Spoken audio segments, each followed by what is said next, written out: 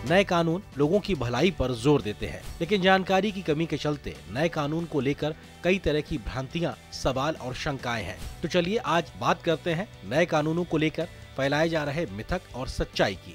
मिथक है कि नए आपराधिक कानून मौजूदा सख्त प्रावधानों की महज एक पुनर्पैकेजिंग है। लेकिन सच्चाई ये है कि पुराने कानून में औपनिवेशक शासकों ने अपना राज कायम करने के लिए बनाए गए थे जबकि नए कानून नागरिक केंद्रित हैं, जिनमें देशद्रोह आतंकवादी कृत्य मॉब लिंचिंग, संगठित अपराध, छोटे संगठित अपराध, झपटमारी आदि नए अपराधों को शामिल किया गया है। ब्रिटिश काल के राजद्रोह कानून को हटा दिया गया है, जो सरकार के असंतुष्टों और आलोचकों के खिलाफ दुरुपयोग की चिंताओं को संबोधित करता है। नए कानूनी ढांचे में समानता को बढ़ावा देते हुए लिंग तटस्थ भाषा को शामिल किया गया है। मानसिक स्वास्थ्य संबंधी शब्दावली में सुधार किया गया है। पागलपन, उन्मादी, मूर्ख, विक्षिप्त मानसिकता और मंद बुद्धि जैसे शब्दों को हटाते हुए संवेदनशील दृष्टिकोण को दर्शाया गया है। भ्रष्ट सिविल सेवकों पर मुकदमा चलाने के लिए समयबद्ध मंजूरी प्रदान की गई है। आपराधिक मानहानि के लिए कारावास से सामुदायिक सेवा में स्थानांतरण, पुनर्वास और सामाजिक योगदान पर ज़ोर देता है।